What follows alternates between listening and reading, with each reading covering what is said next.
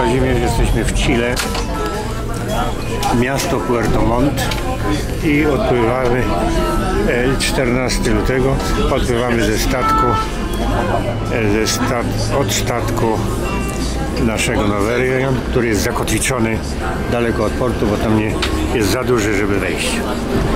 No i płyniemy sobie do, do portu i tam będziemy spacerować.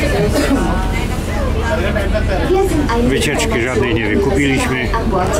No sobie sami ustalimy e, spacer, którędy pójdziemy. Chcemy odwiedzić kościół, jakieś może muzeum. A na wycieczkę żeśmy się nie zapisali. Pełno ludzi zapisało się na wycieczkę do jakiegoś Niemca i, i ten Niemiec ma tylko warzywa, warzywa, Noblał, Noblał, czyli czosnek, czosnek po niemiecku.